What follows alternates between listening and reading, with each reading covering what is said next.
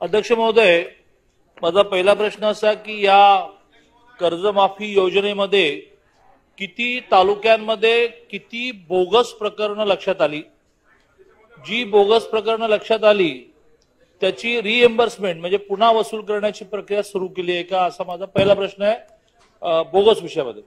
मी आपल्याला उत्तर देण्यापूर्वीच विनंती करतो तुम्ही एक अभ्यासू मंत्री आहात.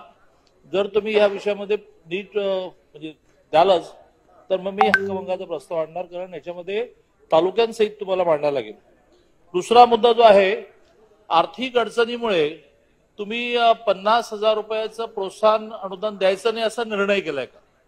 कारण एकोणीसशे योजना आता उजडला बावीस यानंतर तुम्ही त्या प्रोत्साहन म्हणजे कल्पना अशी होती की वेळेवर कर्ज भरणाऱ्यांना याच्यामध्ये प्रोत्साहन मिळावं.